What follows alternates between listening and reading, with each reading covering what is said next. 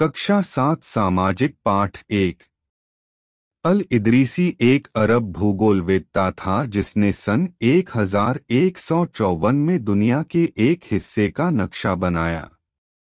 मिनहाज सिराज फारसी के इतिहासकार थे, जिन्होंने पंजाब, हरियाणा और गंगा यमुना के बीच में स्थित इलाकों के लिए हिंदुस्तान शब्द का प्रयोग किया।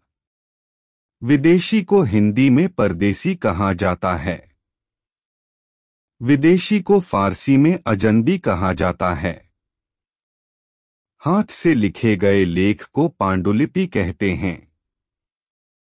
ऐसा स्थान जहाँ दस्तावेजों और पांडुलिपियों को संग्रहित किया जाता है, उसे अभिलेखागार कहा जाता है।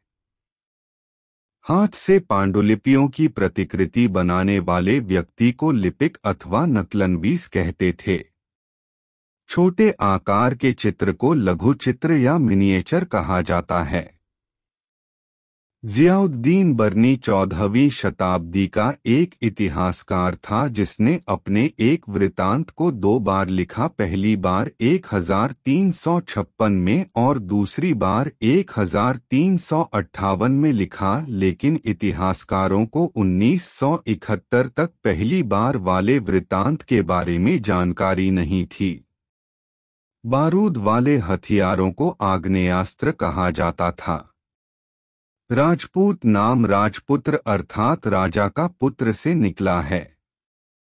किसी भी क्षेत्र के पर्यावरण और वहाँ के रहने वालों की सामाजिक और आर्थिक जीवन शैली को पर्यावास कहा जाता है।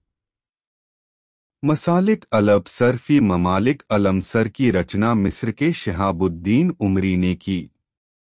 कवि अमीर खुसरो ने संस्कृत भाषा के लिए कहा कि यह किसी क्षेत्र विशेष की नहीं है, यह एक प्राचीन भाषा है, इसे केवल ब्राह्मण जानते हैं, आम जनता नहीं जानती। कोई प्रभावशाली धनी व्यक्ति जो किसी कलाकार, शिल्पकार, विद्वान जैसे किसी अन्य व्यक्ति को मदद, यह सहारा दे संरक्षक कहलाता है। इस्लाम के विद्वान धर्मशास्त्रियों और न्याय शास्त्रियों को उलेमा कहा जाता था। शिया मुसलमान पैगंबर साहब के दामाद अली को मुसलमानों का विधिसम्मत नेता मानते थे। सुन्नी मुसलमान खलीफाओं के प्रभुत्व को स्वीकार करते थे। भारत में हनफी और शफी इस्लामी न्याय सिद्धांत प्रमुख है। 19वीं सदी के मध्य में अंग्रेज़ इतिहासकारों ने भारत के इतिहास को तीन भागों में बांटा था, हिंदू, मुस्लिम और ब्रिटिश।